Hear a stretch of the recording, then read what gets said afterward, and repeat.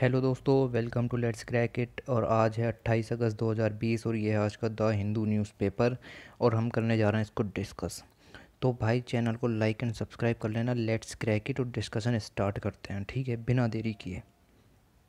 तो first news जो आपके आज जो इम्पोर्टेंट है, वो न्यूज़ है ये वाली।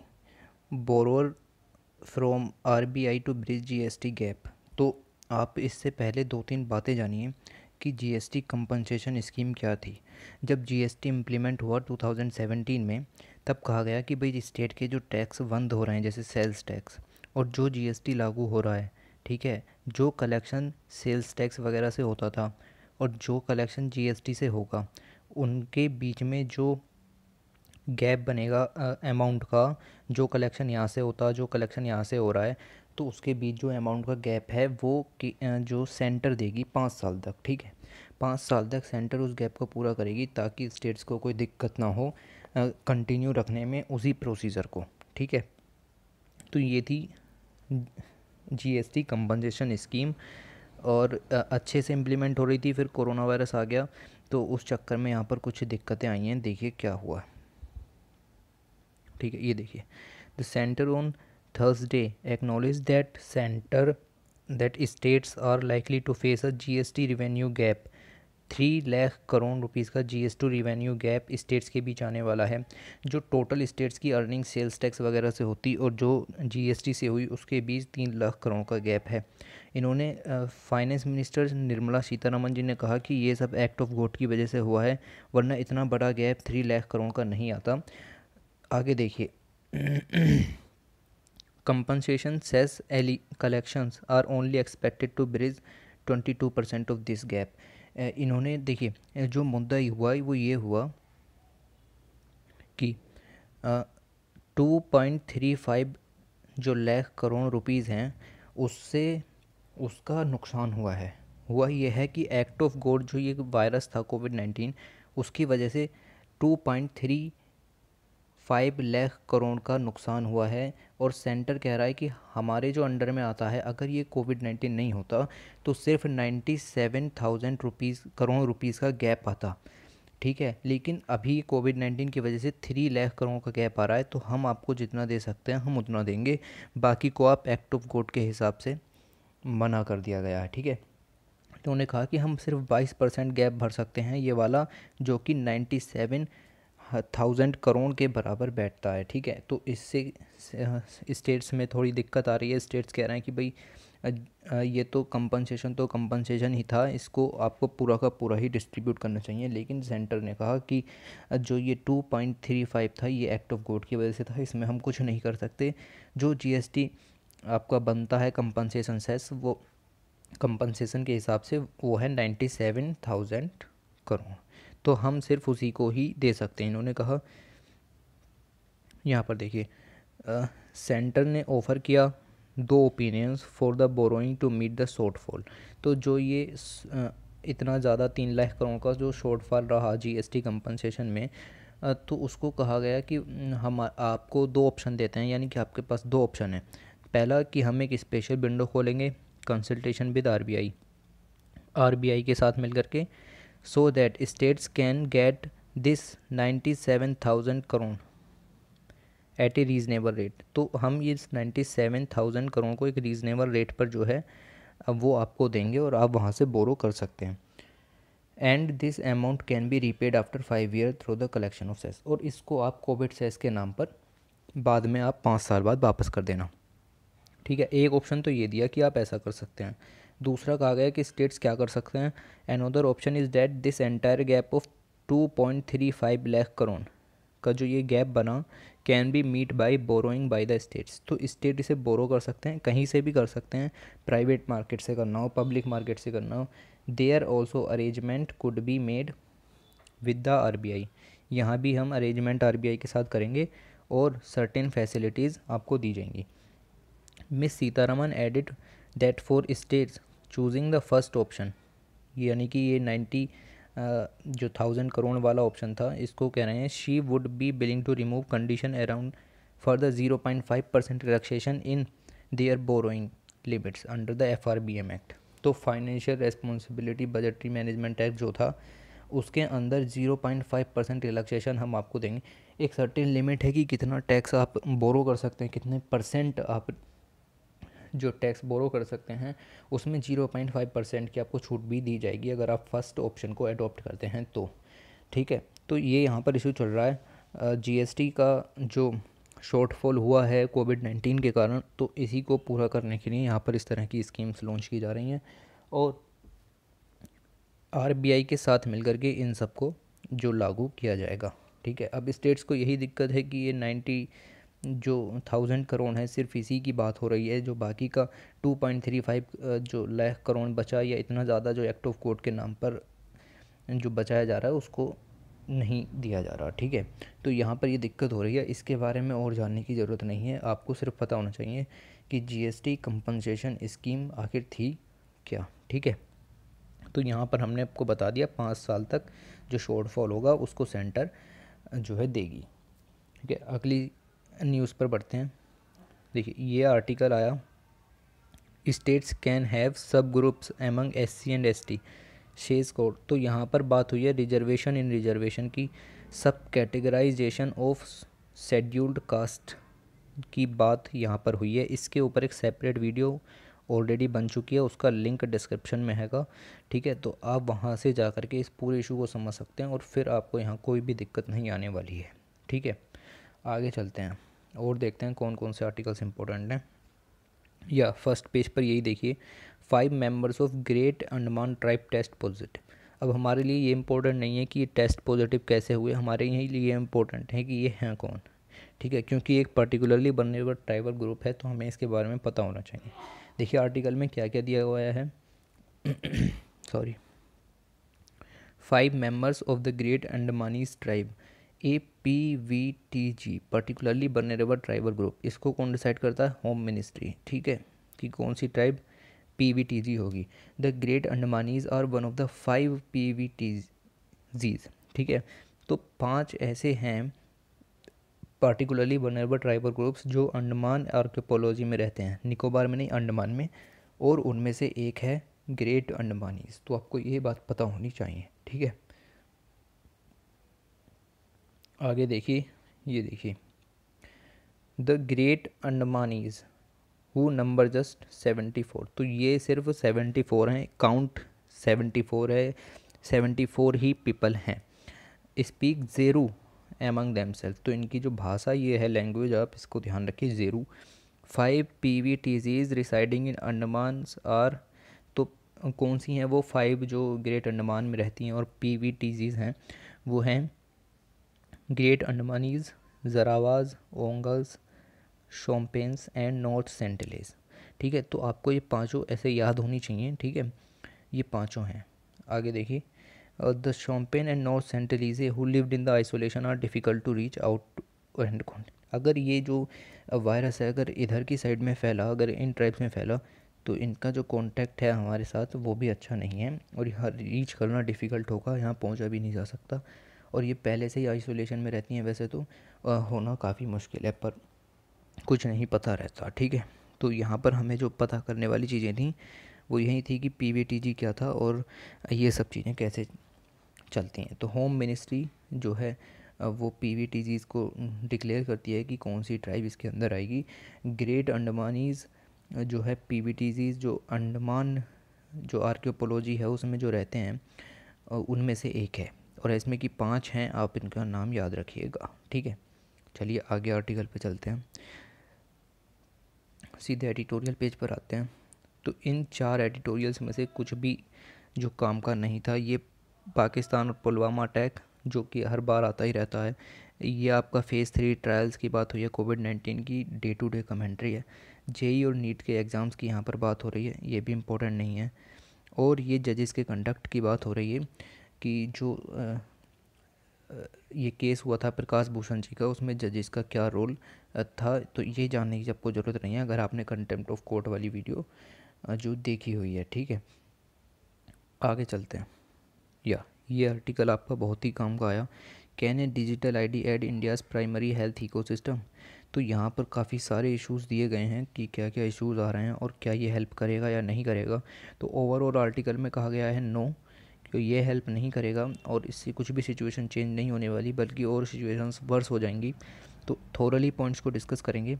उससे पहले जान लेते हैं नेशनल हेल्थ आईडी है क्या? तो प्रधानमंत्री मोदी जी ने 15 अगस्त को अपने स्पीच में कहा था कि वो एक नेशनल डिजिटल हेल्थ मिशन जो लॉन्च करने जा रहे हैं। तो इसके थोड़े से फीचर्स देख लेते हैं। Health ID in the form of a digital card तो आधार कार्ड जैसा एक कार्ड दिया जाएगा, उस चौदह डिजिट का नंबर होगा यूनिक क्यूआर कोड होगा। और वो मोबाइल नंबर से आपके लिंक होगा। और एक मोबाइल ऐप भी यहाँ लॉन्च किया जाएगा। अब इस जो आईडी है, इसके अंदर क्या क्या होगा? आपकी मेडिकल रिकॉर्ड्स होंगे। यानी कि आप किस डॉक्टर से प्रिस्क्रिप्शन लेते हैं, डायग्नोसिस रिपोर्ट, आपको कौन कौन सी बीमारीज़ हैं और आपकी सारी दवाइयों की जानकारी सब उस कार्ड के अंदर होगी। उसको अगर आप कहीं स्वाइप करेंगे या फिर ऐसा कोई बारकोड जैसा सिस्टम होगा तो वो सब बता देगा। डिस्चार्ज समरीज वहाँ पर सब कुछ होगा। उसके बाद मेडिकल डाटा आपका लिंक होगा to registry of doctors and hospitals किस हॉस्पिटल में आप इलाज कराते हैं, वो सब यहाँ पर होगा। अब ये एक वॉल्ट्री एनरोलमेंट है, ज़रूरी नहीं है कि आप इसमें भाग ले ही ले, ठीक है? Blueprint launch last year तो इसका जो ब्लू प्रिंट है वो लास्ट ईयर लॉन्च हुआ था और अब इसकी ज़िक्र मोदी जी ने यहाँ पर किया था। तो देखते हैं आर्टिकल में क्या दिया गया है।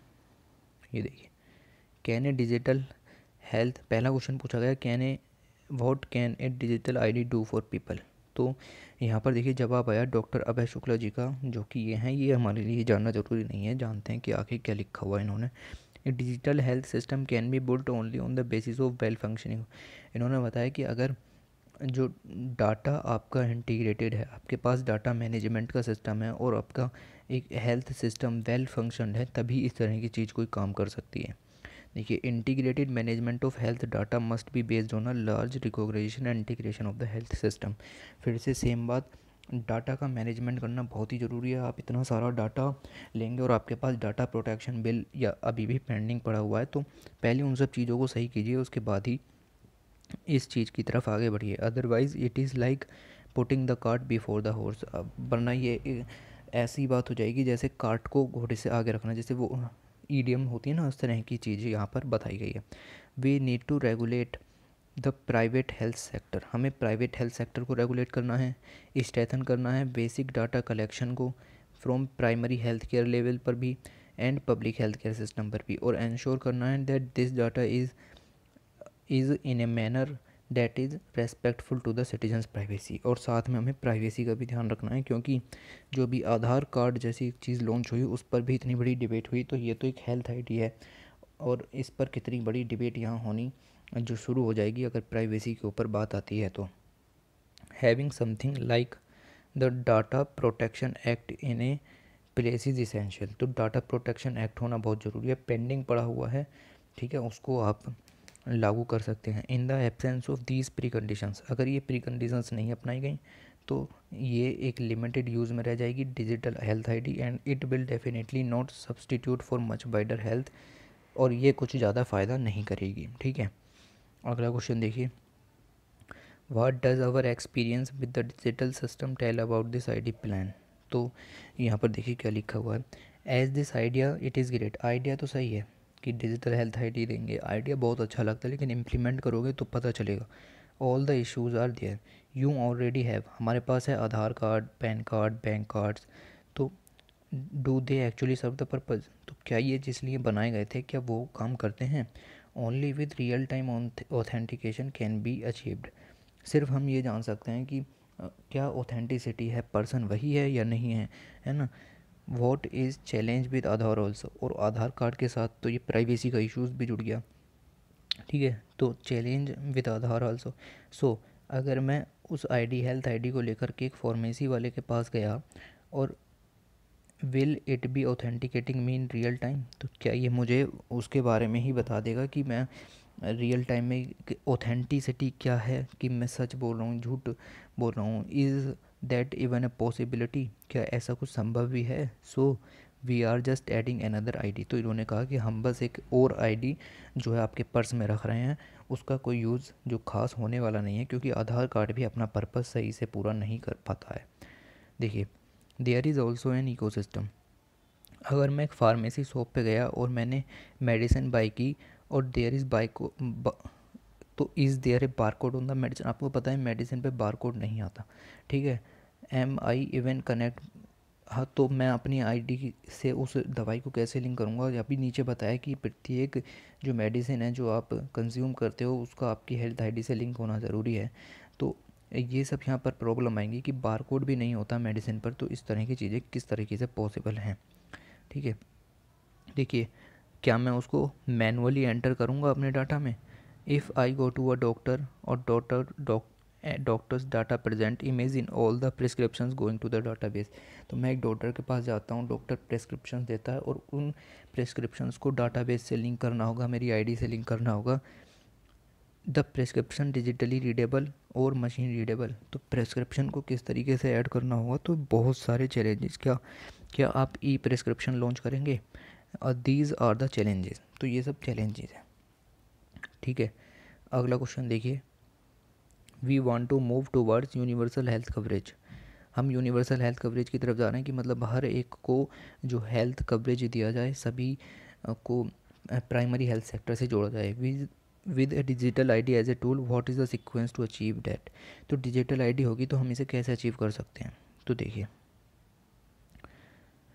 यहाँ पर जवाब आया कि हमें दो या तीन ऐसी इम्पोर्टेंट चीज़ें हैं जो हमें करनी होंगी अगर हमें effective digital e health system को बनाना है। तो पहली क्या है? पहली है, पहले तो एक लार्जर हेल्थ सिस्टम को जो है बनाओ फाउंडेशन करो, उसकी पॉलिसीज़ बनाइएगा हेल्थ सिस्टम से रिलेटेड सेकंड क्या है? Enabling strategies with support and integrated information based system तो एक इंफॉर्मेशन बेस्ड सिस्टम भी होना चाहिए। And then there are actual e health application जो आपके मोबाइल में इंस्टॉल होनी चाहिए। So a foundational change is on the public management information system ठीक है? तो एक जो चेंज चाहिए, वो चाहिए public health management information system में। एक हमारे पास पहले से ही है, लेकिन वो भी अच्छे तरीके से फ़ंक्शन नहीं कर रहा।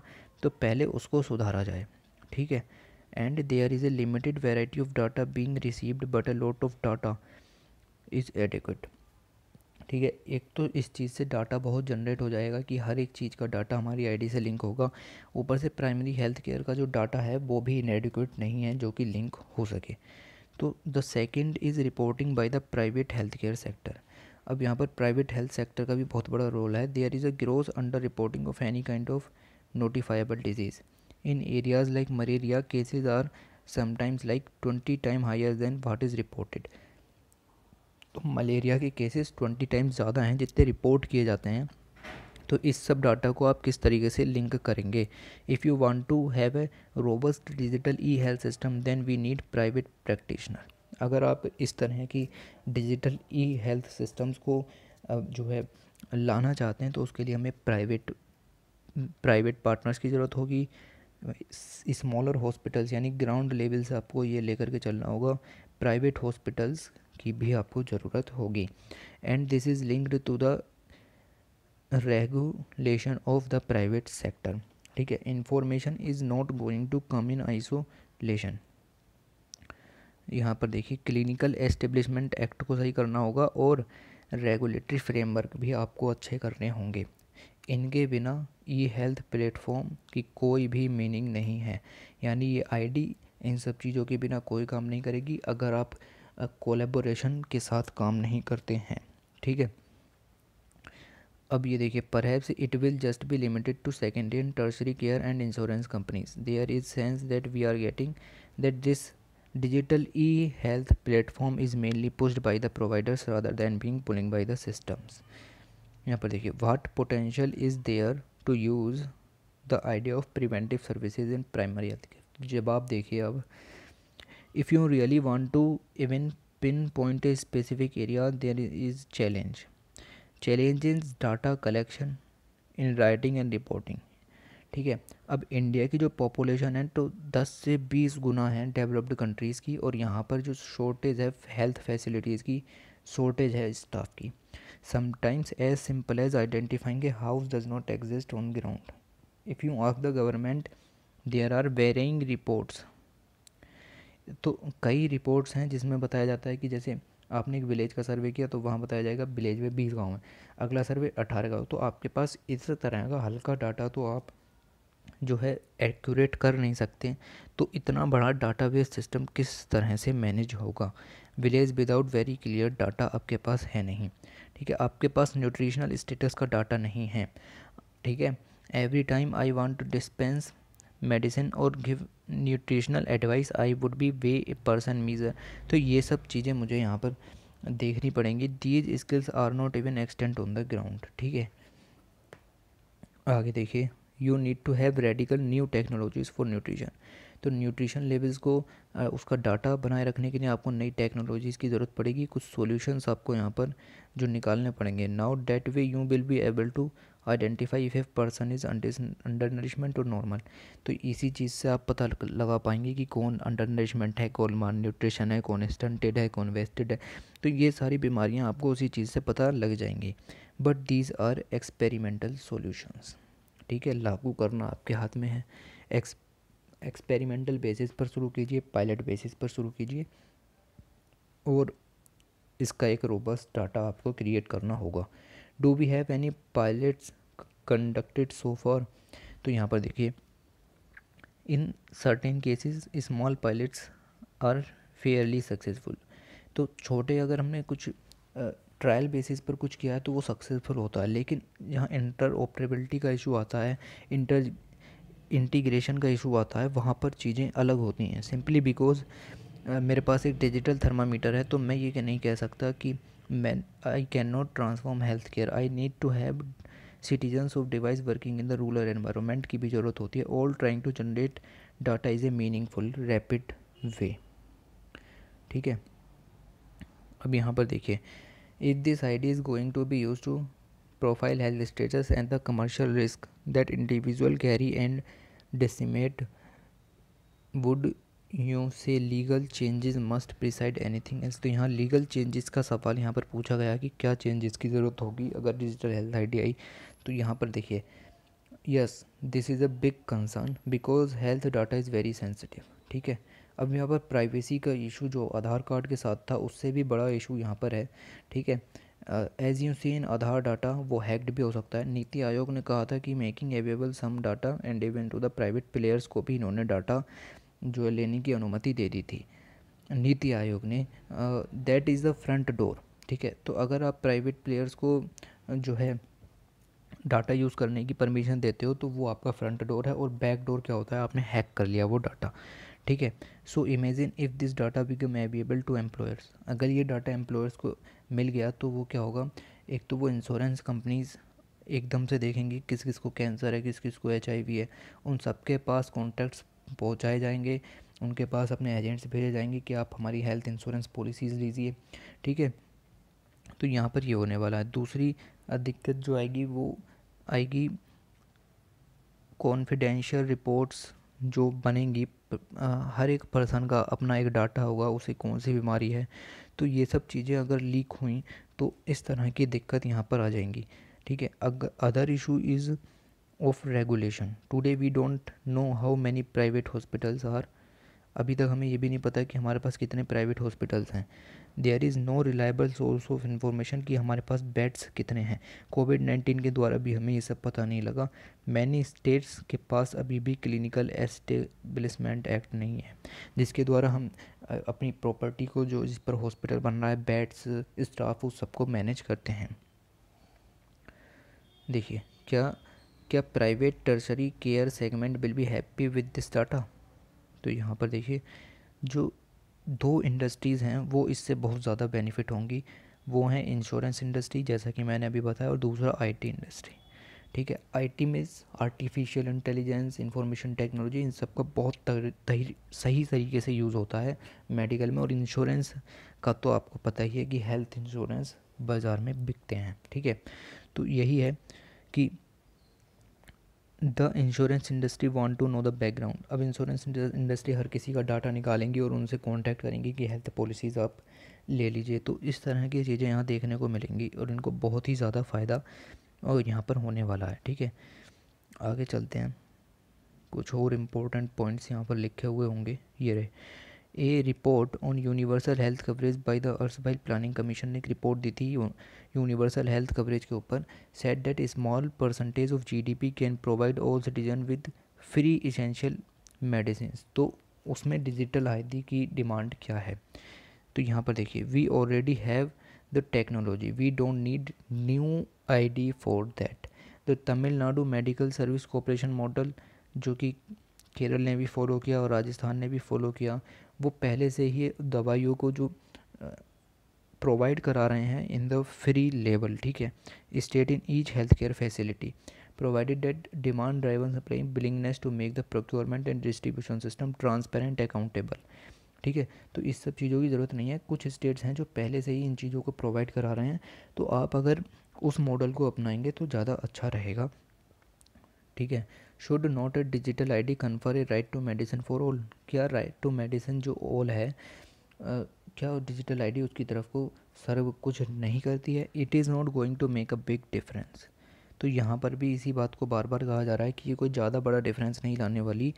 वोट वी नीड फ़र्स्ट कि हमारा प्राइवेट हेल्थ केयर जो सर्विस है और जो पब्लिक हेल्थ केयर सर्विस है और प्राइमरी हेल्थ केयर सर्विस है, उसको थोड़ा सा एक्सपेंड किया जाए, उसको रूरल एरियाज़ तक पहुँचाया जाए। Then we need to engage local private practitioners फिर लोकल प्रैक्टिशनर्स को स्मॉल बिजनेसेस को, जो कि हेल्थ केयर फैसिलिटीज़ में अच्छा काम करते हैं, उन सब के साथ कोलेबोरेट किया जाए। Then digital health will help strengthen it फिर डिजिटल हेल्थ को यहाँ पर लाया जाए, जो ऐप वगैरह होते हैं इन्फॉर्मेशन को अवेलेबल कराया जाए उन पर। In chronic illness like diabetes blood pressure cardiac alignment digital health platform available regularly low cost तो पहले इन सब चीज़ों को लो कॉस्ट पर और रेगुलरली क्वालिटी मेडिसिन आप प्रोवाइड कराइए, उसके बाद ही कुछ इस तरह के मॉडल के बारे में आप सोचिए, ठीक है? यहाँ पर देखिए, दूसरा जो जवाब आया है, वो है तमिलनाडु जो मॉडल था when you centralize purchase a lot of things will be taken care of. तो तमिलनाडु मॉडल को अपनाया जा सकता है एट द सेंटर लेवल, ठीक है? You have this efficient way of delivering medicine up to the primary health care level again. है again the challenge is you are only tracking the secondary package you don't know if the person is getting the medicines. You need to have the real time authentication of the person ठीक है? तो काफ़ी सारी दिक्कतें आई हैं। बड़ी दिक्कतें वही हैं। डाटा रेगुलेशन और अभी जो सिंपल uh, डाटा है न्यूट्रिशन वगैरह का वो डाटा तक अवेलेबल नहीं है। तो आप इतने बड़े ग्राउंड लेवल पर डिजिटल वो भी आप इस चीज़ को करने जा रहे हैं। प्राइवेसी का इशू भी यहाँ पर जो है वो बताया जा रहा है, ठीक है? तो ये पूरा आर्टिकल हमने थोरली डिस्कस किया। यहाँ से मेंस का एक अच्छा क्वेश्चन आपके लिए निकलता है। सिंपल क्वेश्चन देखिए, आप यहाँ पर क्वेश्चन लिख दीजिए बस। Can a digital D and India's private ecosystem will help बताइए, ठीक है? तो यहाँ पर आप प्रैक्टिस कर सकते हैं लिखने की और अच्छा यहाँ से क्वेश्चन निकलता है, ठीक है? तो आगे चलते हैं। ये कुछ पॉइंट्स जो मैंने बताए, इनको नोट कर लीजिएगा, ठीक है? वॉल्ट्री स्कीम है ये ये चीज़ थोड़ा सा ज़्यादा इंपॉर्टेंट है, ठीक है? तो आगे चलते हैं, देखते हैं कोई और से आर्टिकल इम्पोर्टेंट है क्या? या this article Turkey says it will hold military drills in East Mediterranean में अभी अभी शेल गैस के एक बहुत बड़ा जो भंडार मिला है तो उस पर कंट्रोवर्सी हुई और ग्रीस कह रहा था कि ये जो ऑयल मिला है, इस पर हमारा जो अधिकार है, और टर्की कह रहा था कि ये हमारे एक्सक्लूसिव इकोनॉमिक जोन में आता है। तो इसके ऊपर क्या इशू था? ये पूरा इशू एक वीडियो में कवर हो चुका है। इसके जो लिंक है वो डिस्क्रिप्शन में नीचे है। तो आप उसको देख लीजिएगा उधर से। बहुत ही अच्छी तरीके से वीडियोज़ में समझाया गया है, ठीक है? तो और आर्टिकल्स देखते हैं आगे। बस इसमें इतना ही है। तो आज का एनालिसिस छोटा था, लेकिन आज क्वेश्चंस अच्छे थे आपके। प्री का भी और मेंस के भी अच्छे क्वेश्चन निकलते हैं। तीन इंपॉर्टेंट चीज़ें हमने यहाँ पर जानी। जो जीएसटी कंपनसेशन सेस के बारे में और स्कीम के बारे में हमने यहाँ पर जाना। दूसरा पी वी टी जीज़ के बारे में पर्टिकुलरली पर ट्राइबल ग्रुप और डिजिटल हेल्थ आईडी के बारे में हमने यहाँ पर जाना। तो यहाँ से प्री का क्वेश्चन यहाँ से प्री का क्वेश्चन और यहाँ से मेंस का क्वेश्चन जो अच्छा खासा निकलता है। आप इस चीज़ को एक बार और देखिएगा और न्यूज़पेपर पढ़ते रहिए, ठीक है? इसका लिंक भी नीचे पड़ा हुआ है, ठीक है? तो चलिए फिर इस वीडियो में इतना ही और चैनल को लाइक एंड सब्सक्राइब कर लीजिएगा। ठीक है, धन्यवाद।